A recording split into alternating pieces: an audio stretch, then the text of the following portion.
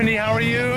Tiffany, how are you doing? Tiffany, you- Ti- I gotta ti- ask ti- you about the big Grammy controversy. I don't know nothing about I that. mean, you were nominated for Record of the Year. What's up with that? I didn't put out no record. I mean, girl, what are they gonna? I mean, you know, I heard you were doing the music. All right, Tiffany, let me ask you something about something more important here. Girl Trip 2. Right, Tracy Oliver says Girl Trip 2 is coming out. She says it every year, and I look forward to it. All right, listen, there, there's a little bit of a.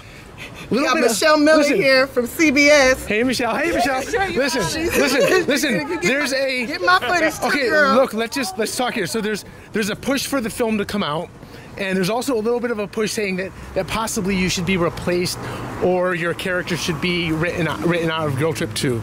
You know, as a result of the last controversy. Really? Right. There's a little bit. If you go online, you'll see. Are you kidding? I'm asking your opinion on that. I don't have an opinion. You want to come back for Girl Trip 2?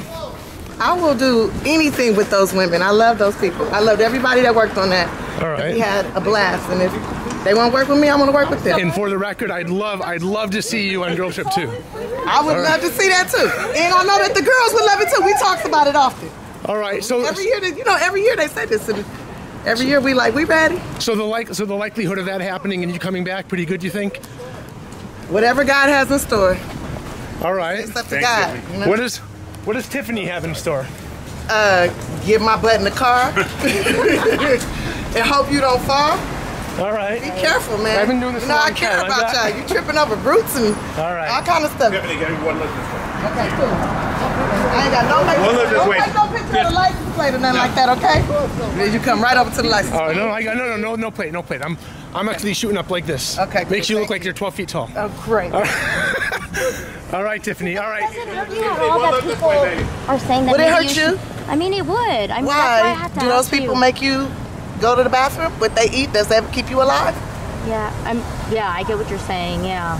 I can't be concerned about what people think.